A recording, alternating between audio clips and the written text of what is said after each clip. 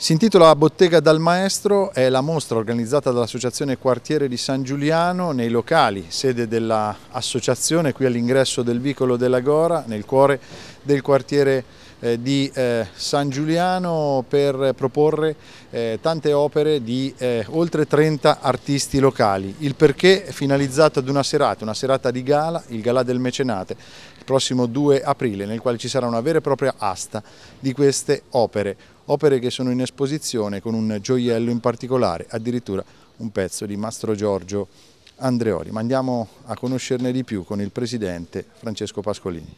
Avevamo bisogno di un'iniziativa che fosse originale e che eh, ci permettesse di far sì in fondo che la città di Gubbio aiutasse se stessa e che quindi il tessuto sociale gubino aiutasse il volontariato che per contro, poi per ricaduta,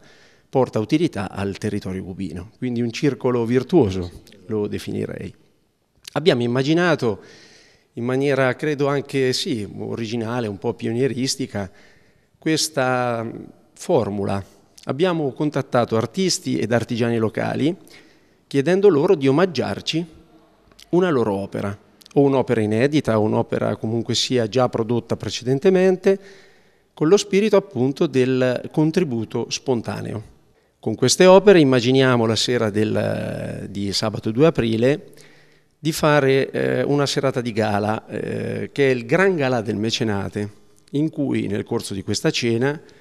eh, noi metteremo all'asta queste opere, di fronte ai gubini sensibili eh, all'arte o comunque sia desiderosi di dare il loro contributo eh, alla nostra associazione, quindi al volontariato locale. Abbiamo immaginato il colpo d'effetto, no?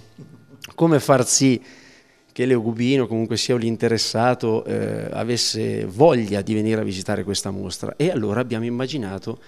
di cercare, abbiamo, ci siamo riusciti poi col contributo di una eh, collezionista privata cubina che tra l'altro ci ha chiesto di poter restare eh, nell'anonimato,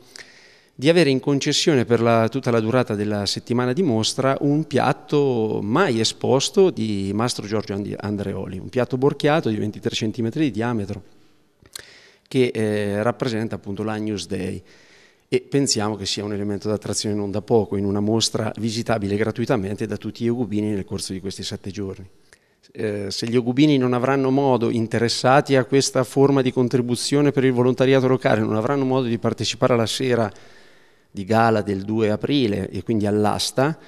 potranno comunque in occasione di questa mostra, questo è un elemento molto importante, anche questo secondo me originale, già eh, eh, fare un'offerta in busta chiusa che diventerà fondamentalmente una base d'asta o anche un valore di attribuzione dell'opera.